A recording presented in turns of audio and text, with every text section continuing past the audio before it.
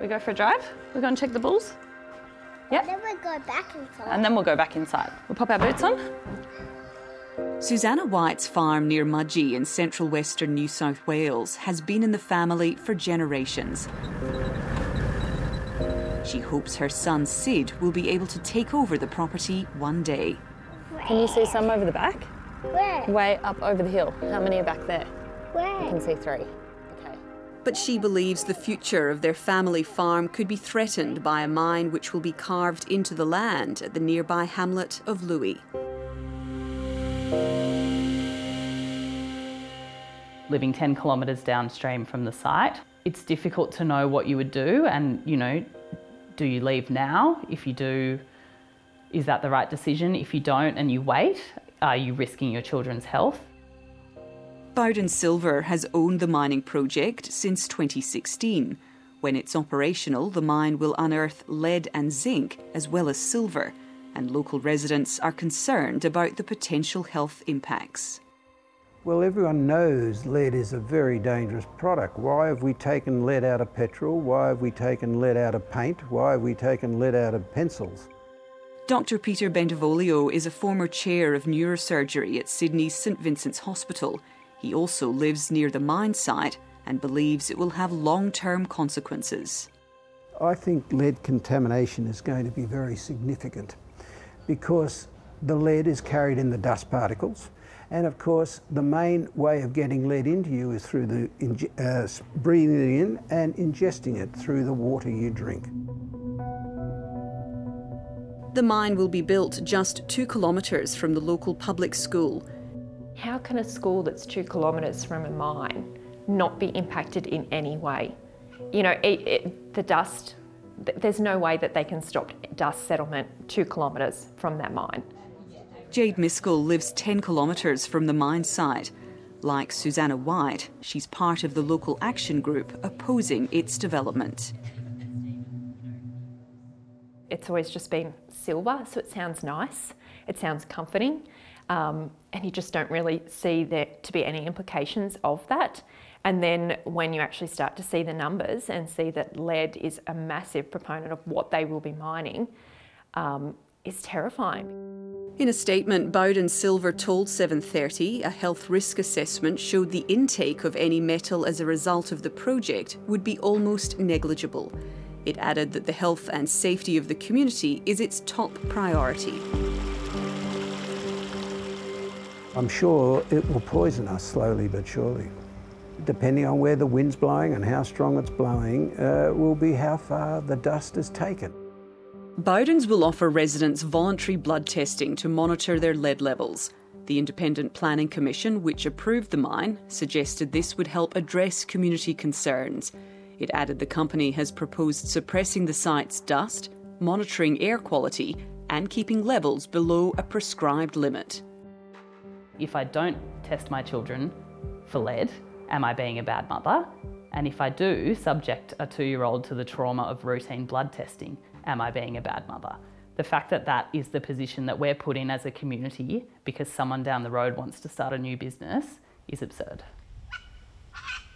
The Bowdens mine is yet to be built, but its operator has been granted another exploration licence across two blocks either side of Lue. Bowdens told 730 the company's focus is on precious and base metals, whose strategic importance has been recognised by the New South Wales government. In 2021, the coalition government in New South Wales released its critical minerals and high tech metal strategy. Its purpose is to make the state a global supplier of the materials needed to build renewable energy projects. One of the things that it does is sends out a clear message and a clear signal to those mining corporations and interests that may want to come and capitalise on this former government's vision. The strategy outlines plans to grow the sector by improving assessment timeframes for mines and reducing red tape, creating a concierge service to assist mining companies to navigate planning and approvals, and helping with issues that impede mining project development. A second government document aimed at investors spruiks 14 mining projects, including Bowdens. The worry when you see a policy like this come out, uh, when you see things like removing red tape, um, when you hear terms like fast tracking, often what that's code for is we're not going to do a thorough assessment project, we're not going to engage with communities appropriately or early or through the, through the entire process. The New South Wales Planning and Natural Resources Ministers declined 730's interview requests. At a solar tech startup which relies on metals like copper, the minister announced plans for a new critical minerals strategy. There are huge opportunities for New South Wales, and we want to make sure, as a New South Wales government, that we're creating the right framework for that to do. Echoing the former strategy, the government promises to support mining and encourage investment. There's an opportunity for everything to be done in a better way, for the bar for approval to be raised. At the moment, it is on the floor. Under current state planning laws, mines must be assessed by the Independent Planning Commission if more than 50 objections are raised. It's then up to the Minister whether the IPC holds a public hearing or a public meeting. With a hearing, the potential for appeal is limited. In most instances of mining projects, what you'll see is the minister refer it to the Independent Planning Commission, and what that the effect of that is to remove the community's ability to seek a merit review in the Land and Environment Court. That was the case for Bowdens.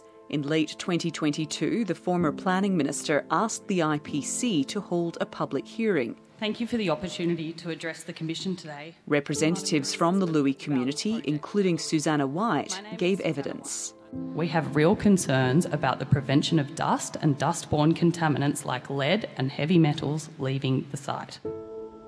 The IPC granted final approval for Bowdens in April, saying the project can meet all relevant requirements for protecting health and safety. The mine operator told 730 the Commission's conditions include monitoring and responding to potential lead exposure because we engaged with that hearing and because we, we took it seriously and thought it was a fair process, we now have no right of appeal uh, to the Land and Environment Court on the basis of this being a bad decision, and we really feel like it's a bad decision. Could each witness please state their name? Thank you. My name's Susanna White. I'm a representative of the Mudgee Region Action Group. This week, a state parliamentary inquiry began to examine the potential health impacts of mining gold, lead, silver, and zinc. It was a chance for the Lue community to speak directly to the government.